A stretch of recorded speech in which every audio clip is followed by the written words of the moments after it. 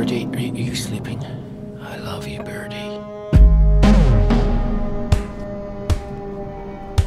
Come and have a shower with me, boy. Okay. I'm a CIA agent. We have a code red. I'll be right back. Tonight, you will be facing Operation Jungle. Status.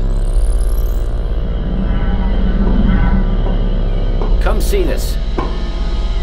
It looks like the substance from the CIA lab. I'm Starting to feel dizzy. Is the CIA aware that you're sending two men to their probable death? No agent dies inside Psychobook. It's just a virtual reality. What did you do to him? Create a mirror doppelganger of Agent Gargano. Upload our copy into Beta Ethiopia. What you're experiencing is the last phases of your mental activity. You're wrong, Commandant. I'm here. Look, Duoff, we have a problem. Please.